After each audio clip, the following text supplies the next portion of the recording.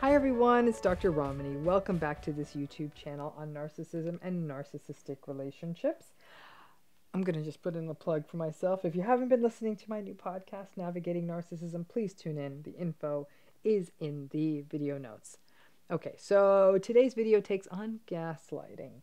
And very specifically, something that recently came up and something I was witnessing, which is how narcissistic people almost set up a gaslight situation so you walk right into it. So, how do they set that gaslighted trap? Let's talk about that. So, gaslighting is usually reactive, right? So, as an example, I'll give you a silly example. You may you ask them, "Hey, why did you move the keys?" They say, "I didn't move the keys." You know they moved the keys. You even heard them move the keys. You say, I heard you move the keys, and dude, it's even on the camera. And then they tell you, hey, you know what? The problem is, I didn't move the keys, but you're paranoid and you want us all to live in a surveillance state. Or you say, hey, my friend saw you at the XYZ bar last night having a drink with that woman from the gym. They say, there's no way your friend saw it because it never happened. But I will say that I do not appreciate you asking your friends to spy on me because you have all these messed up trust issues from your weird mother. Okay? Classic gaslighting example. So, gaslighting again tends to be in response to something you say, and it's a way to doubt reality, paint you as impaired, leave you questioning yourself, and slowly silencing you.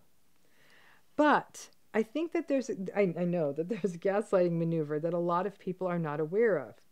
They actually set you up, they get you right where they need you to gaslight you.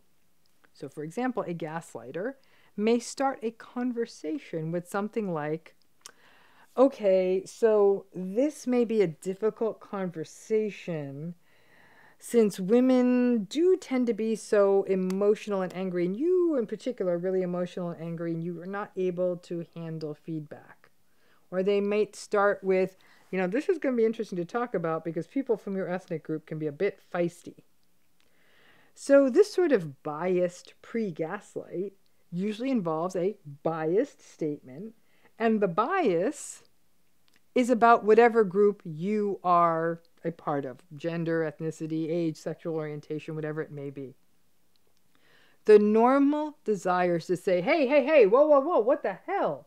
You are assuming all women are angry and emotional? What are you from the dark ages? Who says that? Like, what the actual? And you may be appropriately angry or showing emotion or being, as they quote unquote put it, feisty.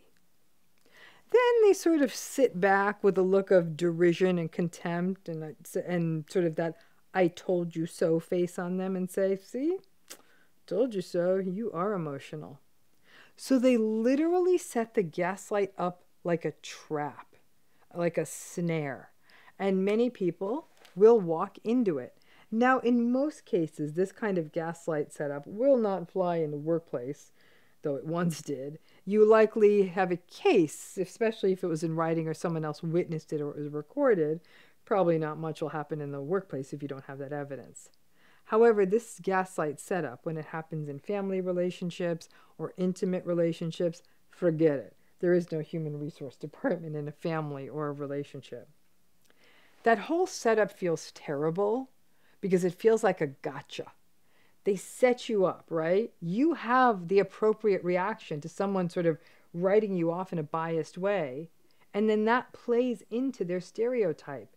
And at that point, anything you try to say to make your point will be treated as more of your emotionality or whatever it is that they are accusing you of, bolstering their already twisted kind of argument.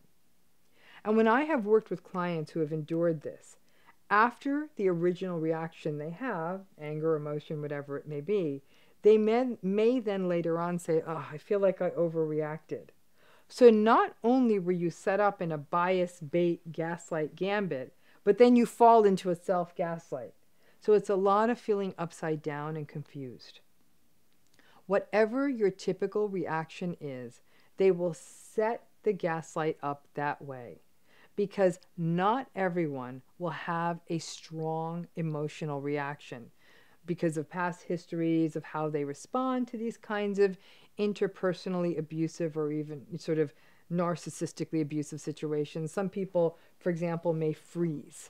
So it may simply be that once the gaslighter learns this about you, that you don't actually react in that way, they may take another approach. So then they might hit you with, like, oh, people from your ethnic group do tend to clam up and don't really show any emotions. Or women are meek, they just don't know how to fight. Or, you know, guys just don't have emotional worlds that they can express. So if your tendency when someone hits you with this biased BS is to shut down, once again, they shrug and say, see? And they may even level up with more cruelty, saying more and more awful things to get you to respond. And when you don't, they may say, oh, see, told you. you. You never show your emotions. Nothing gets you going. After that, you may self gaslight yourself and say, ay, ay, ay, there must be something wrong with me. I can't even think of the right thing to say when I'm being attacked. I am so weak and meek and passive. In essence, mirroring what they set you up in, that kind of thing. Boom, gaslight. So, what the hell are you supposed to do in these circumstances? You already know the answer to this. Don't engage. Recognize the game that they are playing and do not give them the satisfaction.